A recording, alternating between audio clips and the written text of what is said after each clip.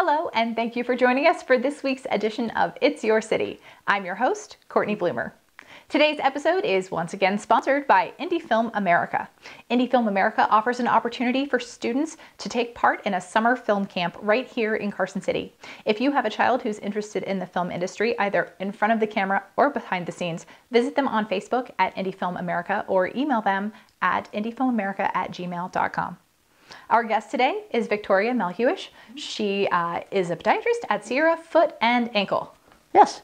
All right. Sierra Foot and Ankle is uh, a local podiatry business for folks who might be needing a little extra help with their with their feet or their ankles due to injury or or just yeah. any kind of any kind of condition. So tell us a little bit about uh, what a podiatrist does for people who might not know what that is. Um, pretty much, uh, depending on you know, it'll handle mechanical, so including surgical um, things, uh, ingrown toenails dermatitis conditions, gout, um, arthritis. So basically, anything that can go wrong with your foot or your ankle, that's what a podiatrist will do. And your business is right here in Carson City. Yes, it is. And and you are pretty involved in in the community in different ways, sponsoring events and and doing things. What should uh, what should people know about Sierra Foot and Ankle?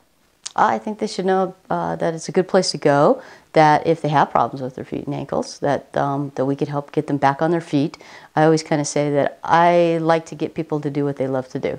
So if you're, you know, like say you're a runner, I know you're a runner, and that uh, if you twisted your ankle or all of a sudden it's like you developed plantar fasciitis or heel pain, and it was going to stop you from running, I'd be like, don't do that.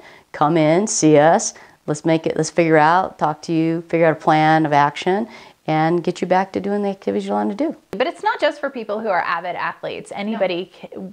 that's that's experiencing pain or discomfort in their feet can benefit from your services. Of course. So you know, seniors. So we do a lot of senior care. I mean, seniors develop problems like um, with their toenails, fungal toenails, very common.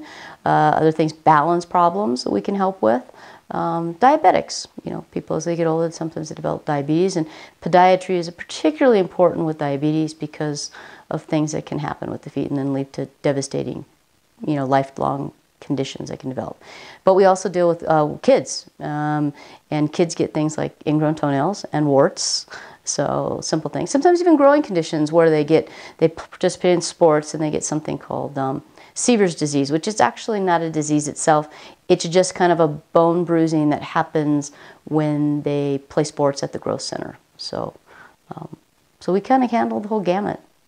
So right now it's summertime. Yes. People want to be out and about in in sandals or maybe mm-hmm. up barefoot on the beach. Mm-hmm. What are some foot care tips that people should know this time of year to to keep their feet in good condition when they're when they're you know walking around barefoot or, or in flip flops? I know those aren't the best for your oh, feet sometimes. Yeah.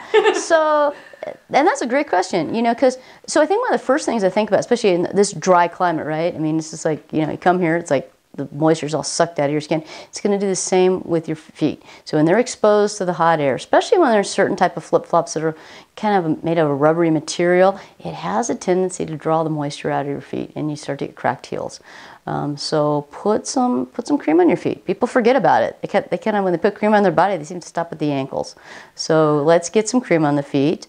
Um, flip flops. You know, they actually make some pretty good flip flops that actually have natural built in arch support. So if you wear the beach flop that's really flimsy, you know, don't don't do don't um, don't do an activity that has more walking with it. And if you really if you like to wear flip flops, let's just spend a little more money and get a flip flop that won't hurt your foot. A good brand is like Vionic.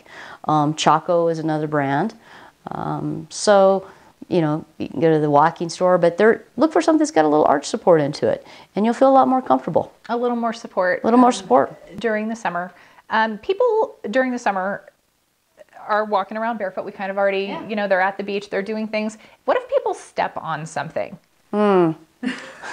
so you can step on a lot of things, right?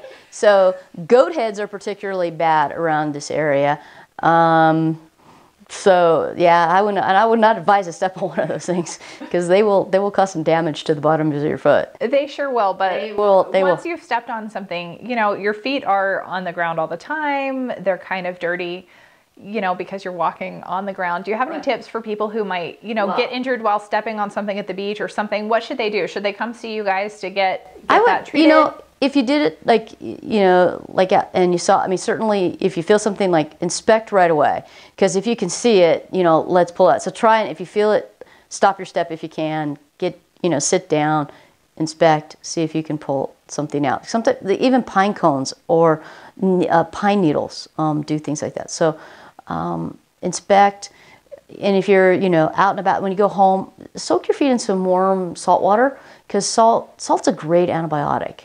Okay. And so you ever think nothing really grows in a salt field, so it it will kill things, you know, like bacteria and other things that get. So that would be really good.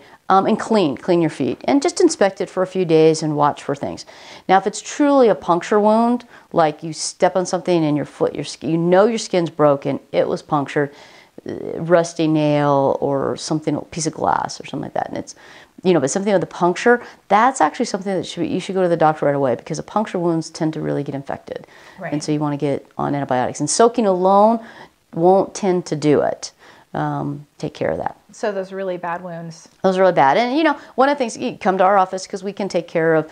Um, we have like on-site ultrasound, which allows you to look for foreign bodies, or you know, a lot of times I've seen things that are small and you know they're just under the surface of the skin, and they've got callus around them. So it's like a little trimming of the callus and te- teasing of it. You can a lot of times find the little superficial foreign, foreign body that's there Let you guys handle that. let let us handle it. If it do the simple things yourself. I mean, I'm always for like people taking care of things themselves. Don't I don't think you have to run to the doctor for everything, but you know, so do those simple things. And if it's not, then you know, then then go to the doctor. And if it is a puncture wound, though, you know it's puncture wound.